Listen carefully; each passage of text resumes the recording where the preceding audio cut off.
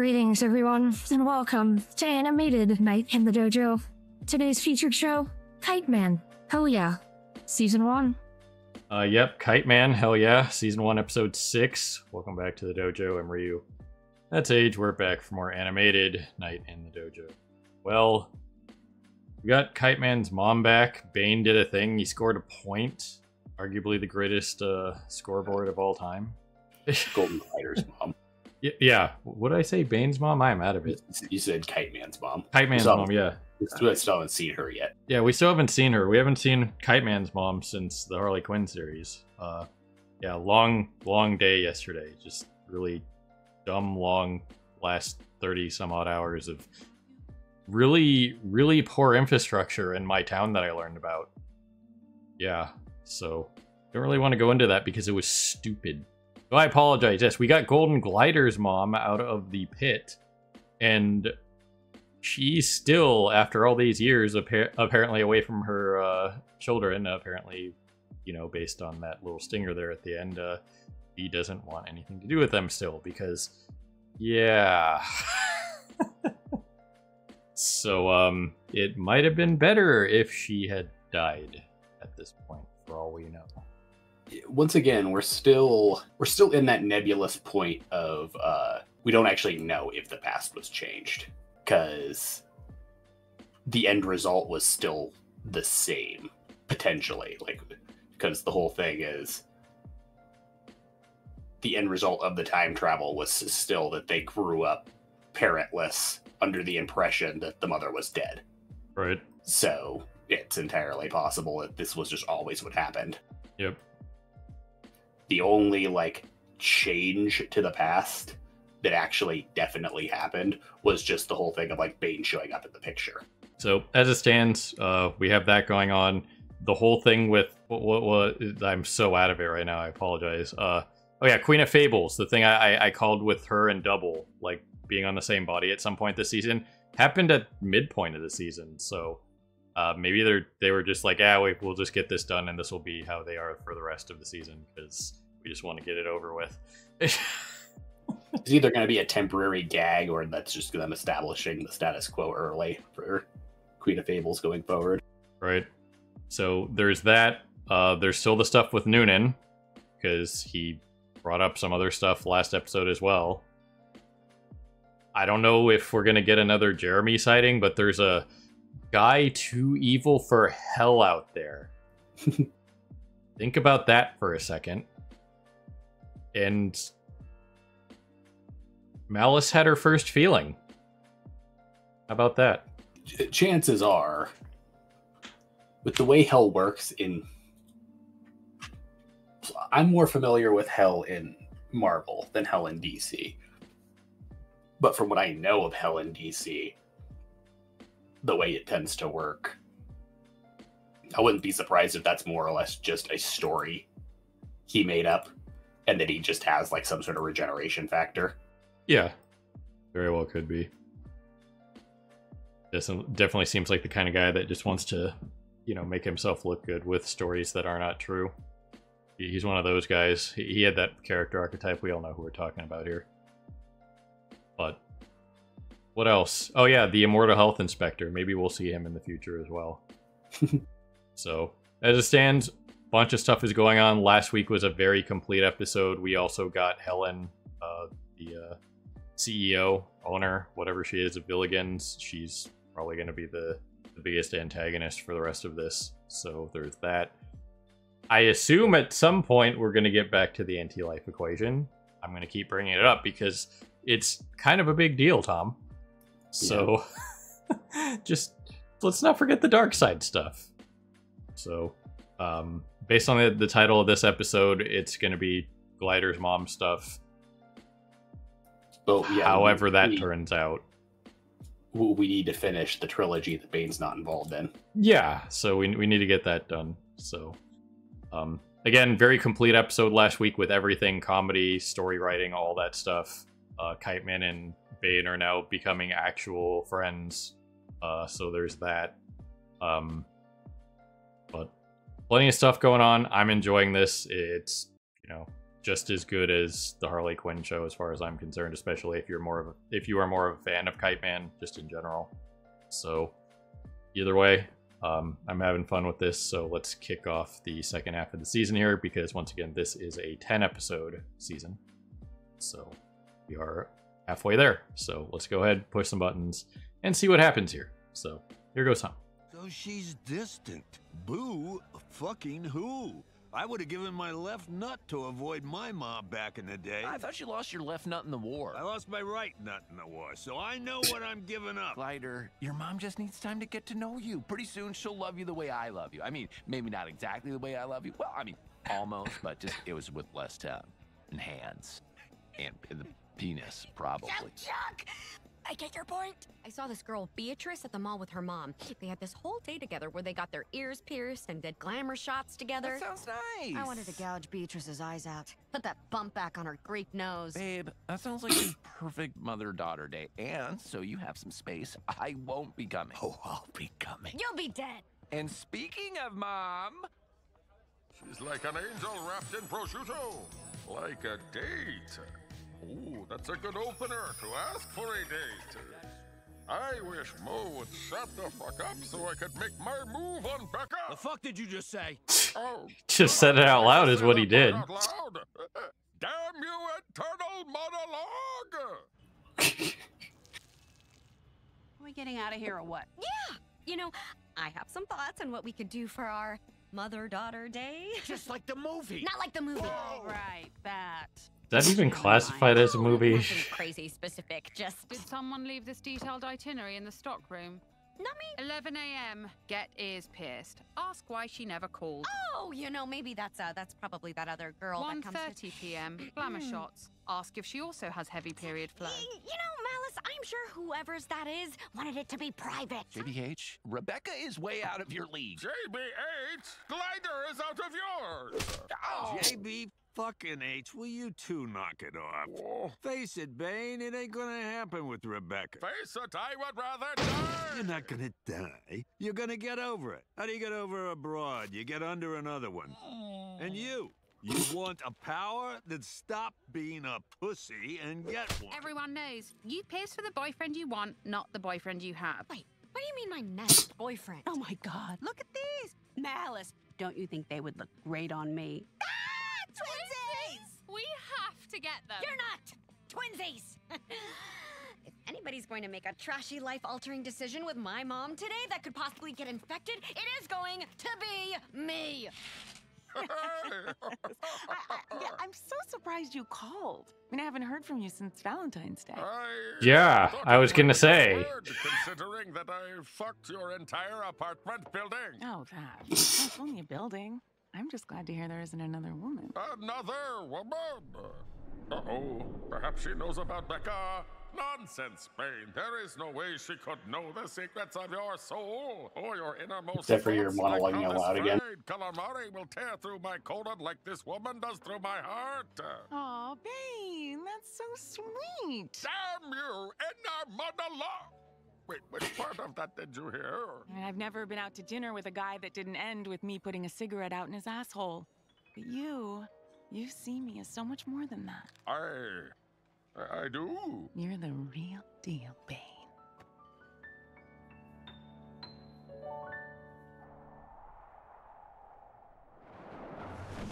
I'm not surprised by this. Yeah. I'll take whatever she has. I don't need anything with too much pizzazz. Hey, hey, look what I did there. And I don't even care. Timing is my thing, you jackass. You'll never make it through Helen Villigan's tower. And even if you do, I doubt she'll give you power. That's why you're here. How did you know that? Because I know everything through your search history. You searched how to get a power, then rephrased it six different ways. Power, how to get. Free powers, how to download powers. Then you got distracted reading the Wikipedia for Austin powers. Do I make you horny, baby? I'm, I'm, no, I'm sorry. You must think I'm a joke. I think you're tired of being the joke. Sandy, may I have this dance? Uh, no. Oh, uh, oh. I mean, hell yeah. Is that really the origin of that? Because really?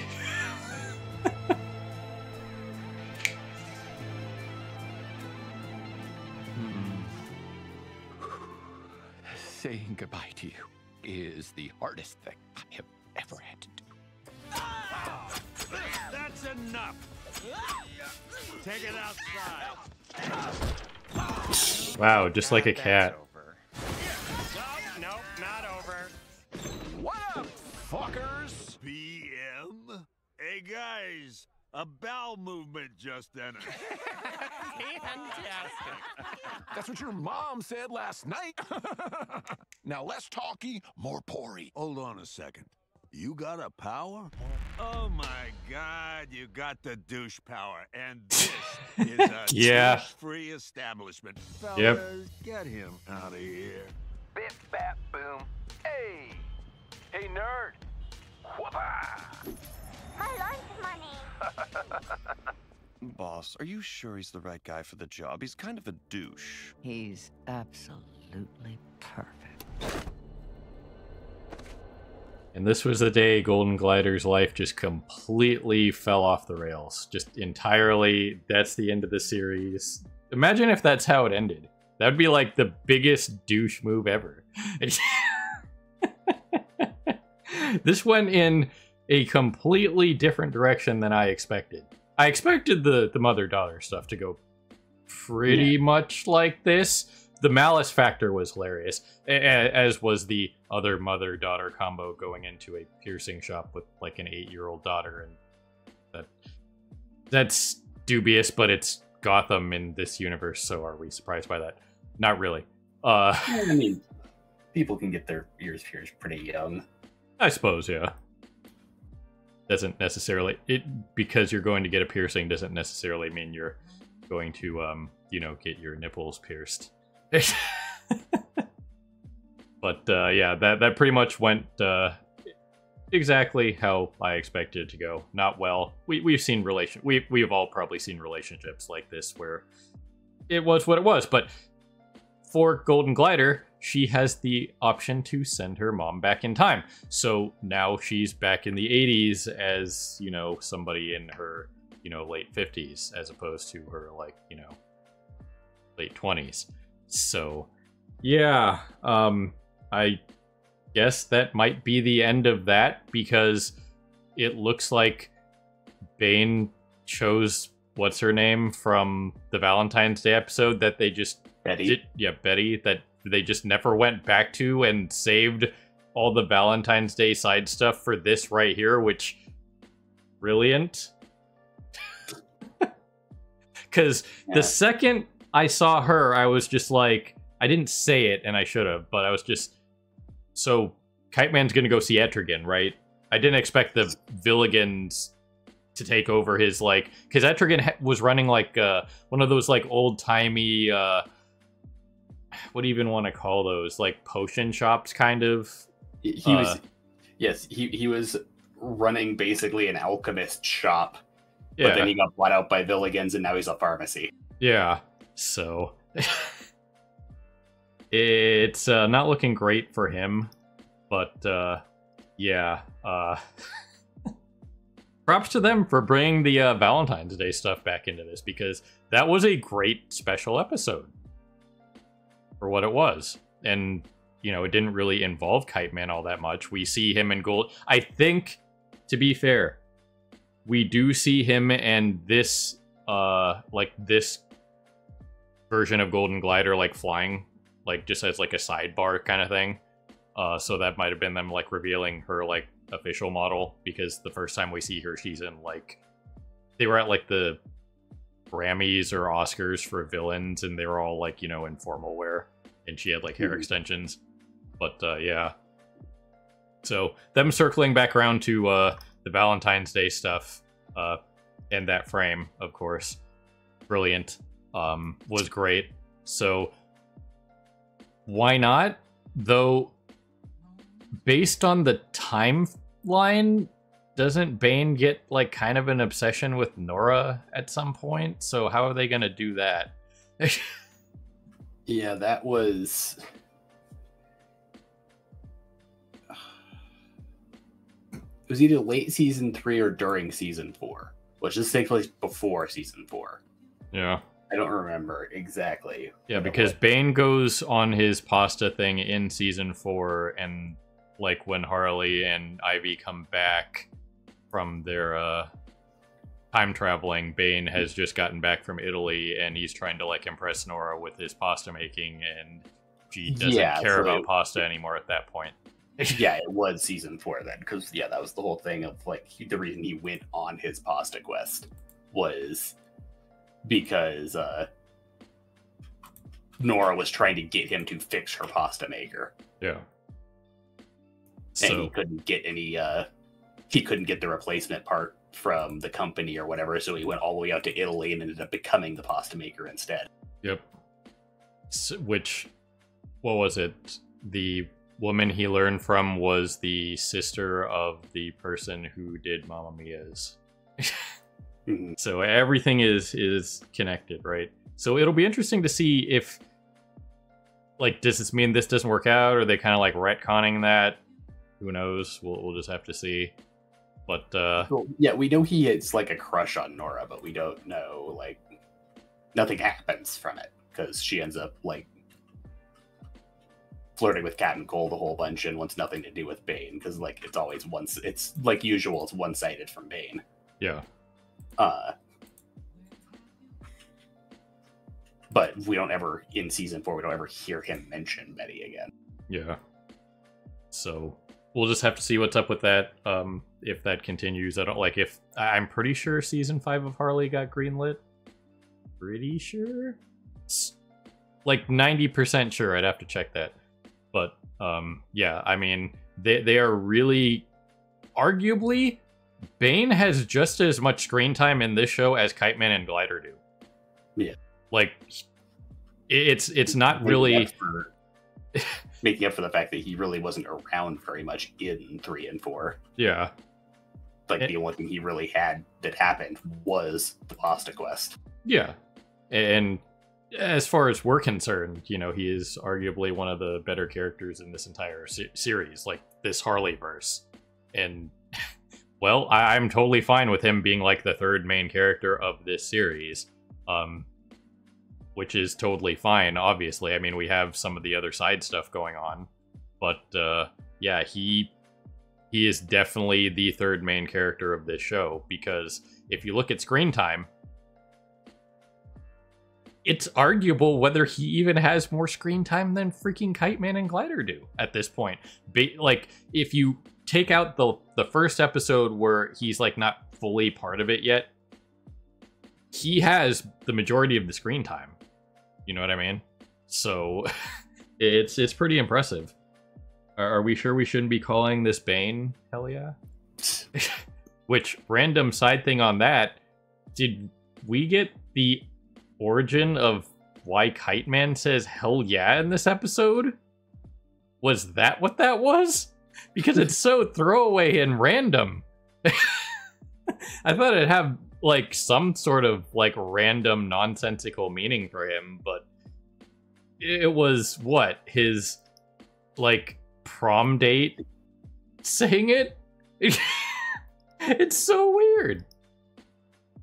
So yeah, uh whatever. We got full on Kite Man backstory with his kite, though to be fair, there was an episode in Harley Quinn where they were looking for his help and he had an entire like setup of putting together multiple kites because kites they're kites. They like hmm. implode in on themselves all the time.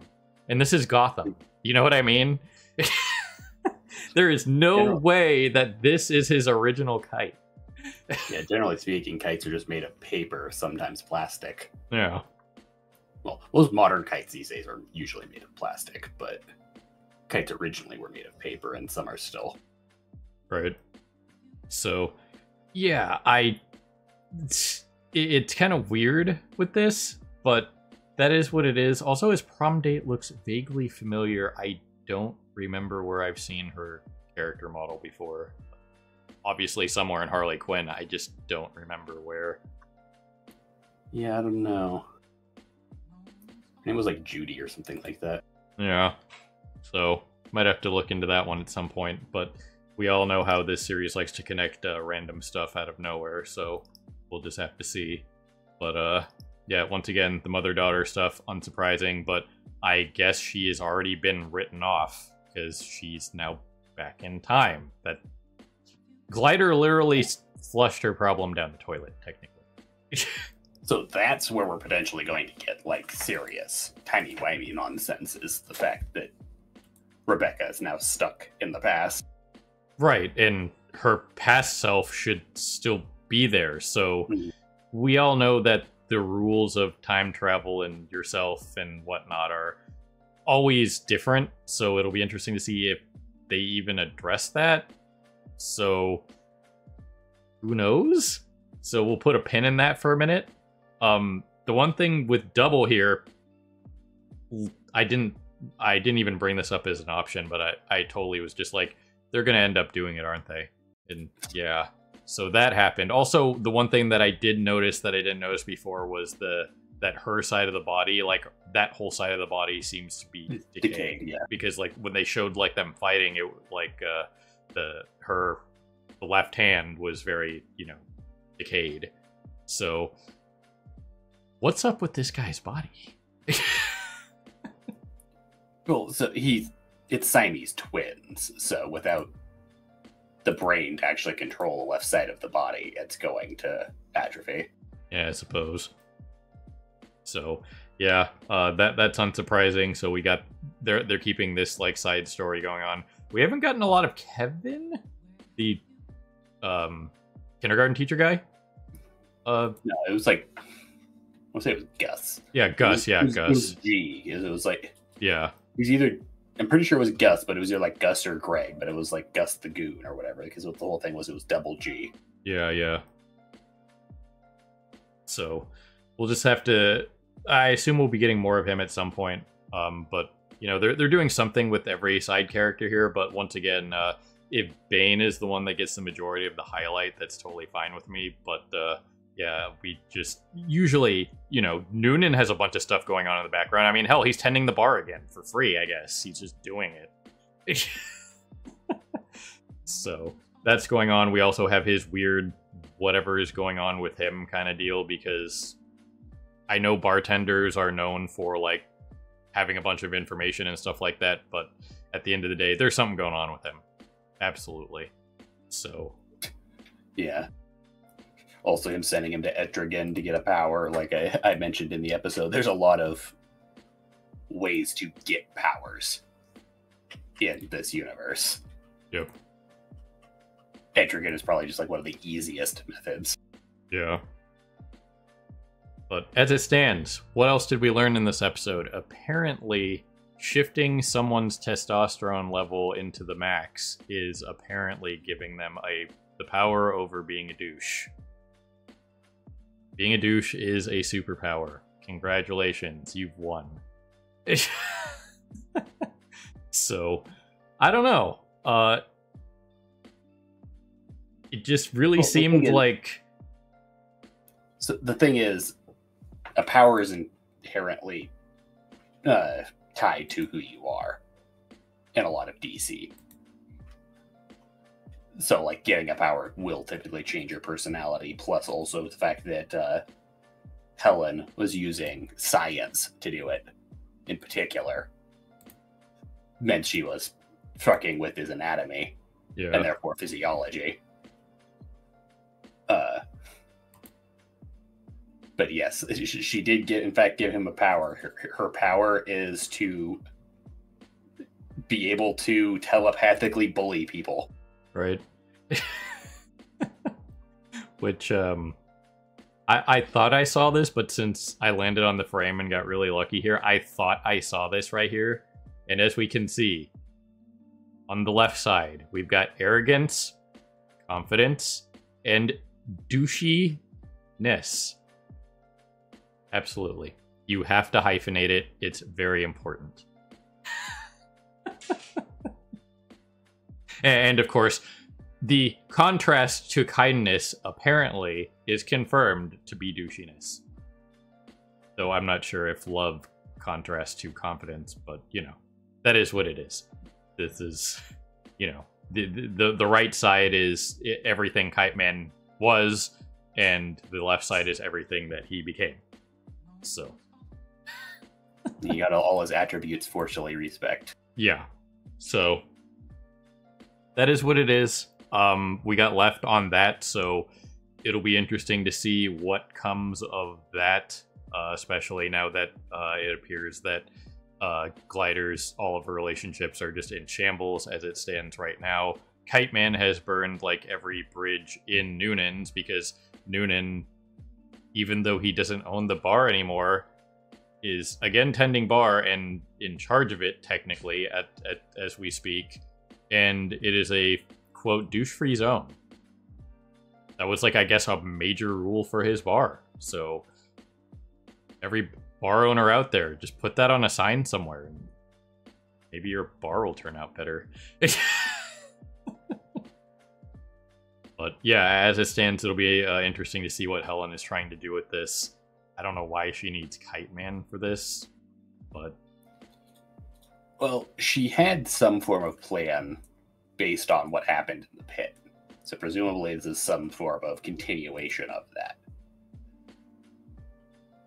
But it's very clear that she's deliberately pulling something with Kite Man. Like the fact that he literally had no effort getting into her place.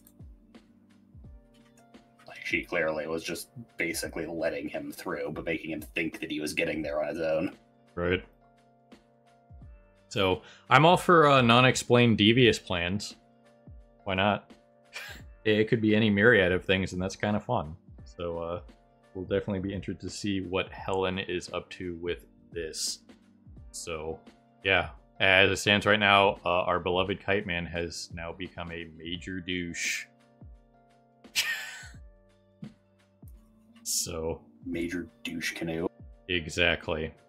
But other than that, you know, I- I'm glad they brought back some of the Valentine's Day stuff. Always nice to see Etrigan, which was a ridiculous pull for the Valentine's Day episode as it stands, but he is technically established in this universe as a thing. He's a DC character. Um, still kind of a big pull, but still. Um, and then we got Betty back from, you know, Bane's whole escapades through the Valentine's Day episode, so that's cool. It'll be interesting to see what they do with that relationship if they're trying to kind of like retcon you know that whole thing whatever um if it doesn't work out whatever because we all know bane can't be happy that's just a bane thing so either way uh another reasonable episode uh feel bad for glider but she'll figure something out i'm sure and at some point i'm sure we'll get uh our good old kite man back so however that turns Yeah. out Yeah, I imagine next episode will probably basically just be Glider coming downstairs going, What the fuck? and Noonan explaining the whole thing of like Rebecca putting the idea of getting a power into his head and him sending her and him sending Kite Man to Etrigan. Right. Which will then lead her to Helen and make her immediately figure out like, oh, something's clearly up here. Yep. And then she'll probably end up having to uh freaking wouldn't necessarily say reconcile because it wasn't really their problem, but freaking basically pull Malice along to go actually do something about hell about thwarting whatever Helen's plan is. Yeah. I mean, at the end of the day, Malice really didn't do anything wrong. It was just kind of Malice being Malice. so that that is what it is. But uh yeah, um full 180 Kite Man. It'll be interesting to see how long that lasts. But once again, don't forget the anti-life equation and Darkseid. Whether that is yeah, it it'll be interesting to see if that's just like a thing. Because if they don't get to that this season, they got to get to it at some point because they got David Keith to do freaking Darkseid. yeah, which I, I imagine that this is basically the diversion of like Kite Man tried to get a power. He's gonna get a he gets the really shit power from Helen. That is just her basically making a power grab, but he will actually get a real power eventually from Darkseid. Yep. because uh, as far as I remember, we did not see Kite Man in season four of Harley, so they very well could work that in for a season five thing after this season. So, Mhm. yeah. Um, either way, I'm enjoying it. I, I personally am enjoying all, all the Bane. Absolutely. I think he is a, a great uh, spotlight character for everything that he's done in this just universe as a whole. So I'm I'm glad to see more Bane. Might not be everybody's cup of tea, but I am having fun with it. But uh, yeah. So anyway, douchiness aside, you got anything else, Age?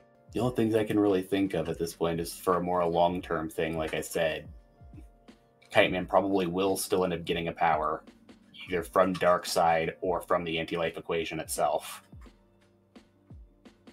But I imagine whether Darkseid gets the anti life equation or not, it's going to more or less come to light that Lex is the one who's been keeping it from him, and that is going to kind of play into the whole thing of uh, freaking his uncle helping uh, Ivy oust Lex in season four. Right. Yeah. So anyway, it'll be it, it will be also interesting. Hmm? So basically, it's kind of like a way to get back at him. Oh yeah. And as far as we know, Steppenwolf is a pretty big deal across the board, usually. Yeah. So, but yeah, it will be interesting to see if they kind of like try to interweave these two series together, kind of like. Uh, I think I mentioned this before, but they kind of did this, um, and multiple other shows have done this. But uh, uh, one of the ones that I think did did pretty well was back in the late '90s, early 2000s, was when Buffy the Vampire Slayer became a big thing, and Angel got his own spinoff. If you wanted the whole story for that those two series, you had to kind of alternate seasons for the entirety of that universe to make any sense. But it's still uh, was a, a good way to portray that uh, that franchise. So it'll be interesting to see if that's what they're doing with Kite Man and Harley is just kind of like uh, doing the branch off series with Kite Man, but uh, everything is still canon in both series, obviously. So, um, you know, with the success of Harley, and obviously uh, from what I've seen, uh, the show uh, Kite Man has been pretty damn well received as well. So we'll probably be seeing uh, more Kite Man in the future if uh, you know it gets greenlit for another season or whatever. So anyway, In general, uh, DC's villain shows have been uh, being really successful lately, so they're probably going to be willing to put more effort into them. Like the only villain show that I know of that they've done recently, like show, not like the movie, is obviously the Joker movie failed. But like show wise, it's villain oriented. Is just the, from what I know, the the Suicide Squad Isekai was considered to be pretty meh. Like not necessarily bad, just pretty mediocre. But anyway, we'll uh, we'll leave you on Kite Man's new stats, and uh, just have to wait till next week to see uh, what the hell uh, Captain Douche Canoe, as he is now known, uh, will continue to do. So, yeah, bunch of stuff on the table. Definitely getting interesting. Um, obviously, there's probably going to be more Bane because that's just how it is. And uh, it'll be interesting to see if we get any more of the uh, side character nonsense as well, like Gus, that kind of stuff. And I, I guess we have to give a special shout out to Six Pack for referring to hardcore porn as movies. Yeah, that was a thing. So anyway, ladies and gentlemen, people of YouTube, beyond however you're watching, always appreciate you stopping by and with us in the dojo for more animated animated night in the dojo. This was Kite Man, hell yeah, season one, episode six. So, a good morning, evening, afternoon, whatever it is for you. Have a good one. See you next time. Hey everyone, Victoria here. If you enjoyed the video, please consider pushing those like and subscribe buttons. Your support is greatly appreciated. Thanks again for your time, and we hope to see you again in the future.